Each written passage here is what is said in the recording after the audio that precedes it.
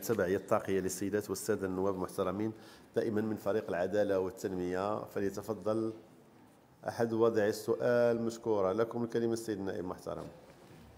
شكرا السيد الرئيس. السيد الوزير المحترم تعتبر نسبة التبعية الطاقية جد مرتفعة إذ بلغت 93.9% سنة 2017 وعليه نسائلكم السيد الوزير عن الإجراءات التي ستقومون بها لتخفيض هذه النسبة. وشكرا. شكرا سيد النائب المحترم. سيد الوزير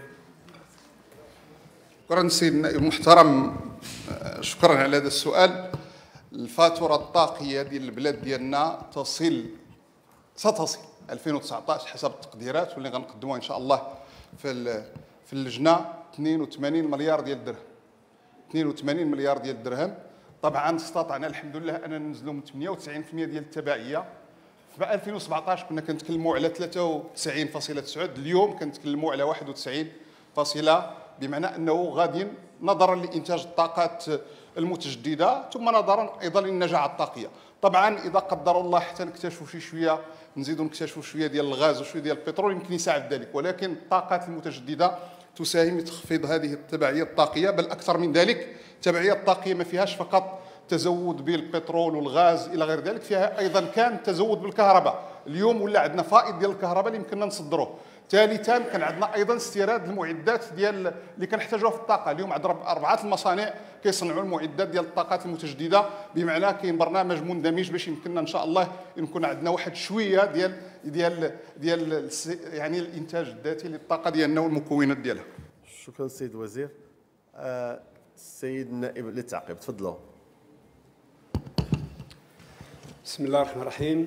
شكرا السيد الرئيس السيد الوزير المحترم. في البداية لابد من التنويه بالمجهودات التي بذلتها الدولة في مجال الطاقة والطاقة المتجددة خصوصا. آه، حقيقه آه، مؤشر التبعيه الطاقيه تحسن من 98% إلى 93.9% 2017 وحاليا نسمع منكم 91% إلا أنه ما زال يشكل عبئا ثقيلا على ميزانية الدولة. أزيد من 80 مليار سنتيم سنويا ولذا نهب بالوزارة اتخاذ جميع التدابير للتخفيض من هذه الفاتورة الطاقية الباهظة. وفي هذا الصدد نقترح عليكم الاستمرار في ورش النجاعة الطاقية والذي يشكل ركيزة في النموذج التنموي المغربي وهو سبيل كذلك للحد من الارتهان الطاقي بالخارج. ثانيا التنويع من مصادر الطاقة بما فيها ثمين نفايات المنزلية. التكثيف من التنقيب عن النفط والغاز الطبيعي. وهنا تأتي راهنية التشريع بتفعيل مقتضيات التعديل الأخير لقانون الطاقة المتجددة. وهذا آه، حلمان بالنسبة للمواطنين.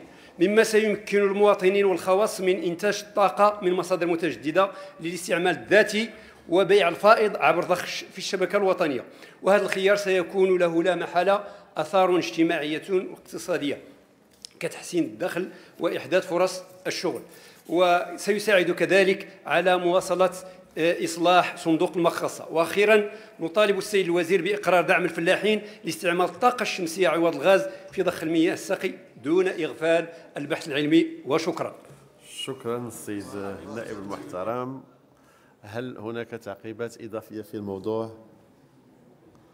تفضلوا السيد الوزير شكرا السيد النائب المحترم. يمكن أن أقول بأنكم لخصتم السياسة العامة للبلاد ديالنا في مجال الطاقة. هذه مناسبة نخبركم تم التوقيع بين المكتب الوطني للكهرباء والماء مع شركة صوند لاستغلال يعني البدء يعني في شراء الغاز اللي غادي يكون من تندرارة. واللي غادي يعطينا واحد 30% الحاجيات ديال المحطتين اللي كيستعملوا الغاز. نتمنوا إن شاء الله كاين شوية الغاز في الغرب كيستعملوه الصناعيه وكاين آفاق مستقبلية كاين الغاز في ناحيه التصويره اللي كيستغلوا يعني المكتب الوطني. الآن كنشجعوا البحوث باش يمكننا إن شاء الله كل ما اكتشفنا غنحاولوا نعطيو الأولوية للاستغلال بالنسبة بالنسبة للنجاعه الطاقية. أكيد أنكم صادقتم على أننا الآن غنقصوا من من غنحيدوا حتى الضريبة على الاستيراد فيما يتعلق بالألواح الشمسية. بالنسبة للفلاحة تم الاتفاق مع وزارة الماليه وزاره الفلاحة باش نعطيو دعم للفلاحة باش ننجحوا في النجاعه ننجحوا في النجاعة الطاقية بالنسبة للفلاحة. ونقلصوا من شكرا السيد الوزير.